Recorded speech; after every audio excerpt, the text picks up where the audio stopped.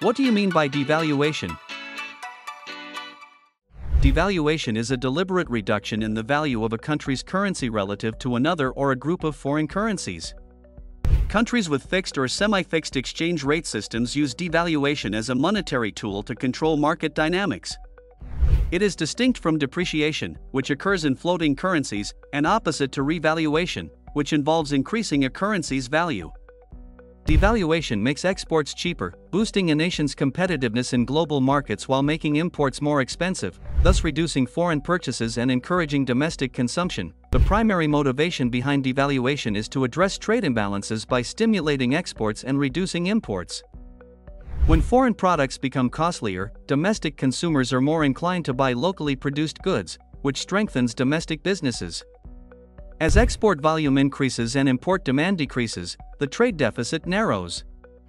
For countries with large amounts of sovereign debt, devaluation also reduces the burden of repayment in local currency, making it easier to service debt over time. However, devaluation has its drawbacks.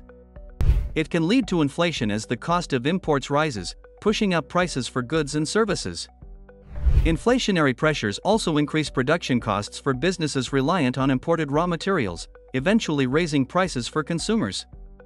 Moreover, market uncertainty following devaluation can diminish consumer and investor confidence, potentially harming economic stability. Revaluation, on the other hand, occurs when a country's government or central bank increases the value of its currency. This action is more common in fixed exchange rate systems, where governments intervene in the foreign exchange market to adjust the currency's value. Revaluation is typically employed when a currency has been undervalued for too long, leading to sustained trade surpluses.